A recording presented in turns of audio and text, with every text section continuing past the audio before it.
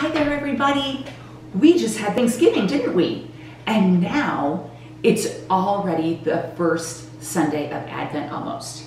And so we get to start talking about Christmas, which is so exciting and feels so fun. Now, you might have noticed that the sign behind me is a little bit different. Let's take a look at it, okay? So this sign says hope. And maybe some of you remember that a couple of years ago we had these great big signs and during our summer camps we all colored them together. So keep watching every week and that sign will change every single week. Now the other thing that I hope you got is a bag like this. A whole bunch of these were delivered to people's front doors over the last week. And if you didn't get one, send me an email and I'll make sure that you get one, okay? Because the stuff in here is what we're going to be doing all throughout Advent for the next four weeks. The other thing is inside your bag, there's a little booklet that looks like this. And this is going to be what we use for the next four weeks as well. So make sure that you know where this is. I think we should unpack what's in our bag. How about that? Let's take a look at what's inside. So, first, you probably have a paper plate. Then, you've got a whole bunch of strips of paper with words on them. We'll talk about that in just a minute. What else? There are five candles, and all of your candles have different words on them. This is so that you, as a family, can create your very own Advent wreath at home. And that's because we won't all be together on Sunday mornings. So that way, you can do your Advent wreath anytime during the week that you want. You could do it every night at dinner if you want, but you'll have it as a family to do together. So that's the beginnings of your Advent wreath, okay? Now, other things in here you'll want to save for other weeks. So let's take a look, okay? I know that next week there's something really special and fun to do. There's cookie ingredients. So you'll have a chance to bake cookies together as a family. And you can decide if you want to save all the cookies or if you want to take them to somebody. That's going to be your choice. There's also an ornament in here for you to decorate. And in a couple of weeks, we're gonna do something really special with this bird seed. So make sure that you don't lose it. Hang on to everything and just keep it in your bag, okay? And then there's stickers in here. I love my stickers. And even some Play-Doh. And we're gonna do a special activity with our Play-Doh in a couple of weeks too. But let's get back to our Advent wreath and our strips of paper, okay? So I'm gonna put these things back. And our strips of paper, you can actually make this into a chain, a very special Christmas chain.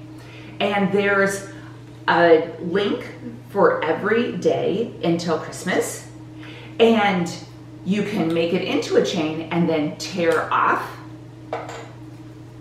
a link, or you can add a link every day. It's totally up to you. But you'll also find that you have blue dots here so that you can do that whichever way you want, either count up or count down. But another way that you could do it is what if I just don't want to make a chain? That's your choice too. So I have this pretty vase and I thought you could just put all of it in a pretty vase. And then once a day as a family, you just pull out what it says to do on that day and you do it. Simple as that. So I guess what I'm saying is all of this is up to you how you choose to do it. But right now, let's get some ideas for how we can make an awesome family Advent wreath at home with just stuff you've got around the house. Okay? So it's kind of a cold and rainy day right now. So I'm gonna put my coat on and I'm gonna grab my clippers And we're actually gonna go outside and I'll show you some things that we could find outside that might be great to make your family Advent wreath. Come on, let's go. Okay, so look at this huge tree I have. Lots of people put green evergreens on their Advent wreath. So I just have my clippers and I'm gonna cut some.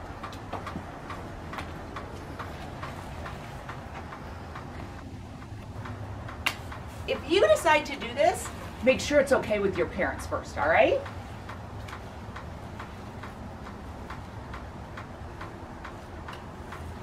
And then come over here for just a second. Let me show you something else that I have.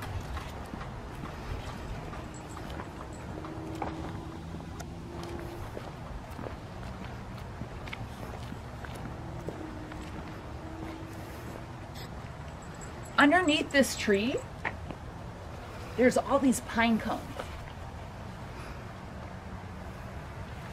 See what I mean?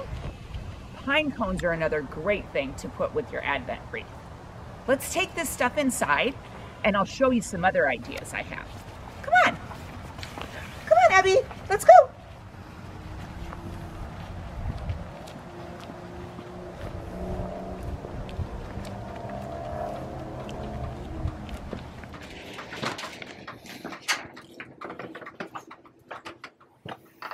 You know what? I'm gonna stop right here.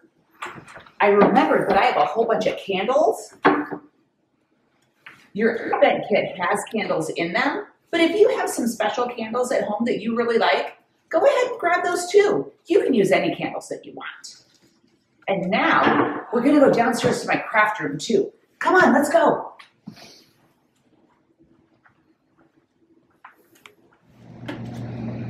So in here,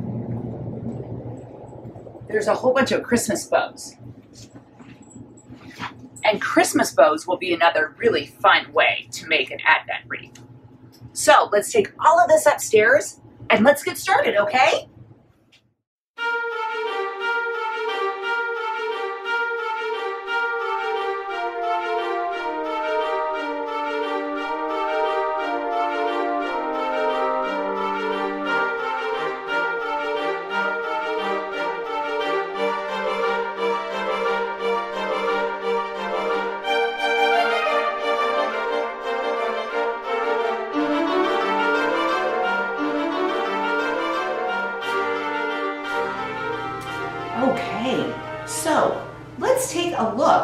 All of the different ways that I found to make an Advent wreath just with things that I have in my own house.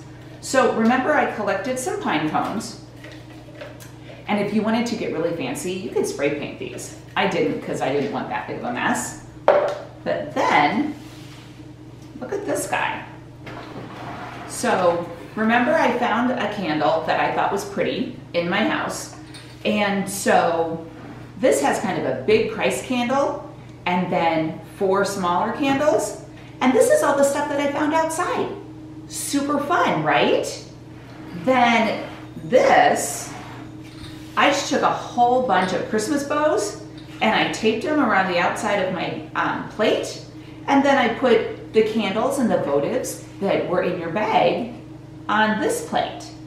Now another thing that I found, a couple more things. I found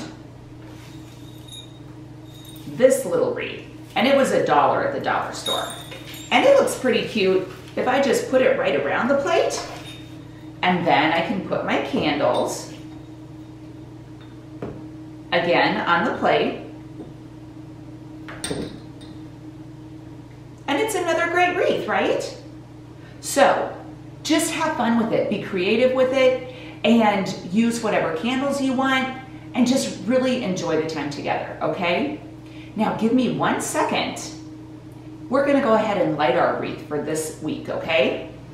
Except I forgot my lighter, it's over here. Just a second.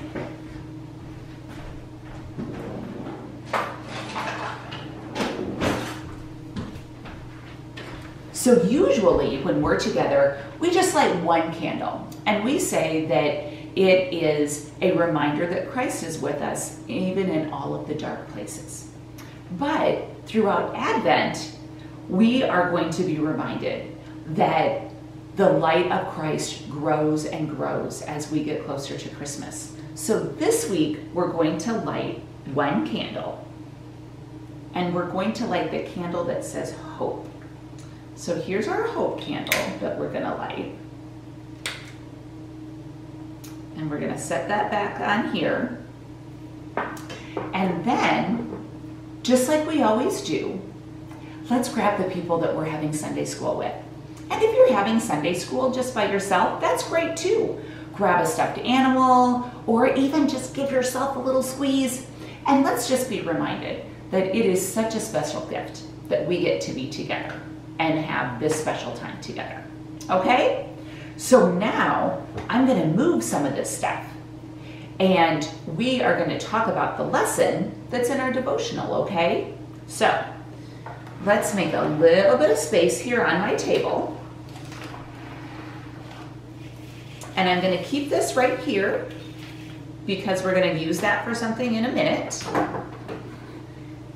And I'm going to get out my devotional. Now, the great thing about this is there's also tons of pages to color. So when you're just sitting around, you can go ahead and color your pages. But at the beginning of our devotional, the words here talk about in light and in darkness. And here's the thing, especially this time of year, we start to think that darkness is bad and that light is good. And what we need to remember is that way back in the book of Genesis, when the story of creation is happening, we know that God created the darkness and the light, and God said that both of them were good. So let's think about that a little bit, and let's think about the ways in which the darkness can be helpful and good. Now, one of the things that it talks about in our devotional is in our family activity, we have one of our candles lit, right? But I'm not sure how well we can see it. Let's do this. Let's shut off all the lights in my kitchen. And let's see what happens to the light from our one candle, shall we? Here go the lights. What do you notice? All of a sudden, that one light is just about all that we can see. Let's turn the lights back on. Okay, awesome. So what we learn about that darkness is that the light becomes even brighter when it's dark. So think about that a little bit with your family and think about how do you feel about the light and how do you feel about the darkness? Sometimes the light can be very exciting, but what's helpful about the darkness? Sometimes the darkness tells us that it's time to be still and quiet and maybe even rest. So think about those questions as a family. Now, I would like to share a very beautiful story with you about light and darkness. Okay? This is the story of Sulwe. It's written by Lupita Nyong'o and illustrated by Vashti Harrison. Sulwe was born the color of midnight. She looked nothing like her family. Not even a little, not even at all. Mama was the color of dawn, Baba the color of dusk. And Mich, her sister, was the color of high noon. Hardly anyone at school looked like Sulwe either. People gave her sister Mich pet names like Sunshine and Ray and Beauty. People gave Sulwe names like Blackie and Darkie and Night. Sulwe felt hurt every time. So she hid away while her sister made lots of friends. Zoe dreamed of being the same color as her sister. She wanted real friends too.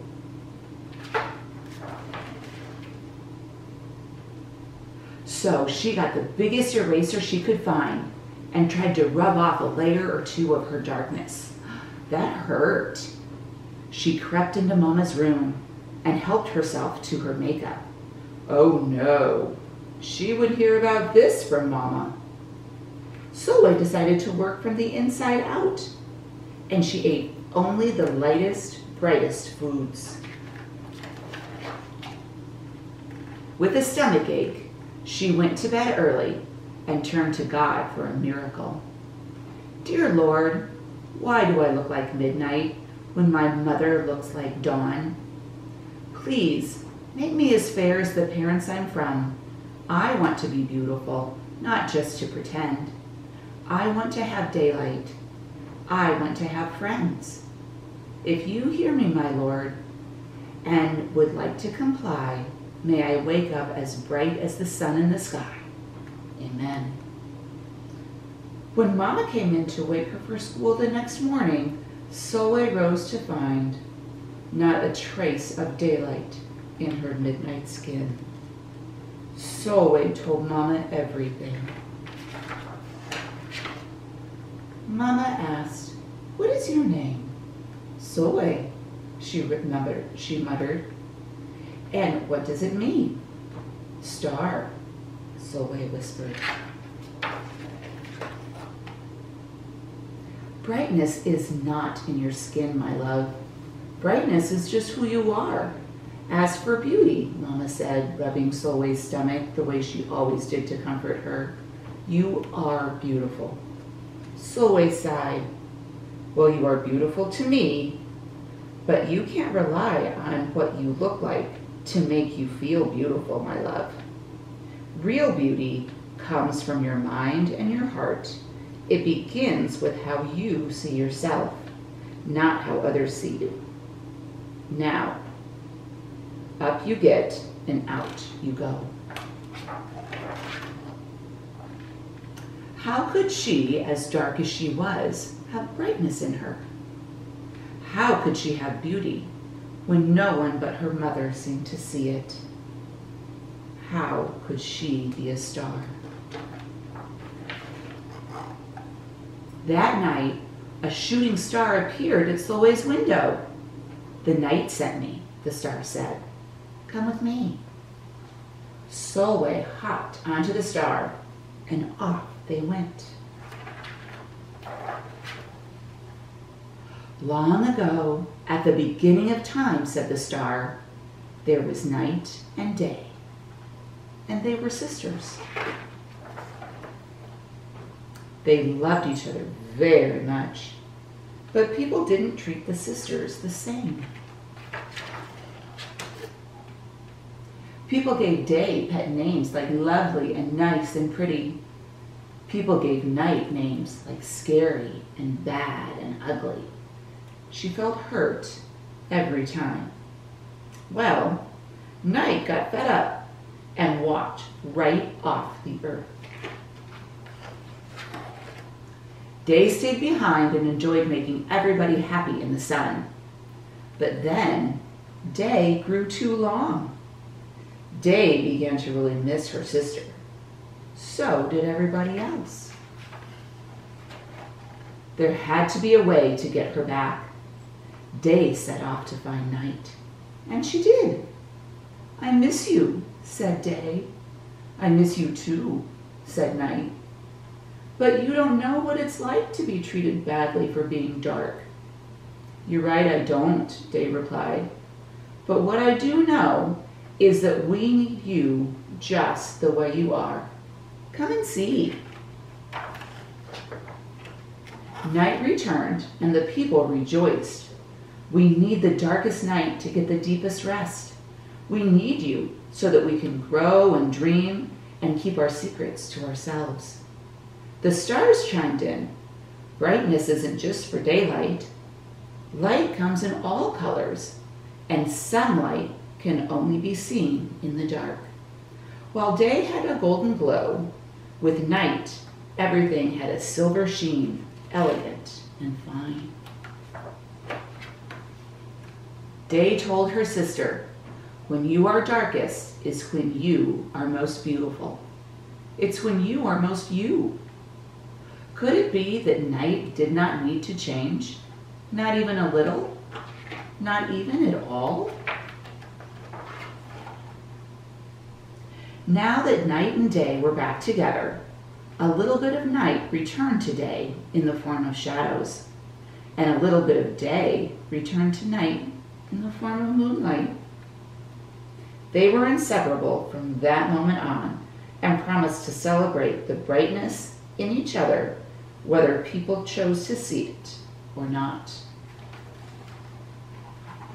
You see, the star explained, we need them both on their sunniest day and on their darkest night, and every shade in between.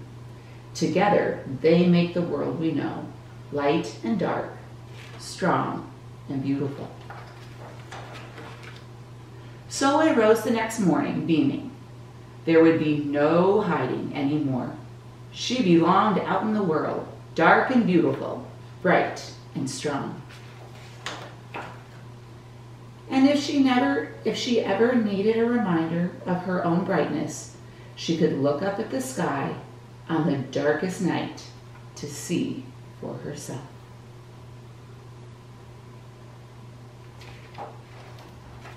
Sulwe felt beautiful inside and out. I love that story and I hope you liked it too. Let's close in prayer, shall we? And we're going to use the prayers for the month of December that are actually listed in your devotional. Loving God, your Spirit surrounds us in both light and darkness. Like sunlight, you help us find our way and explore our world. Like a dark night sky, you give us rest from all the worries of the day. May we be light for people who need to see hope in this world. Maybe we, may we be cozy darkness for those who need a safe place to rest. Thank you for the season of Advent and for bringing us together. Amen. Have a great week, everybody. Bye bye.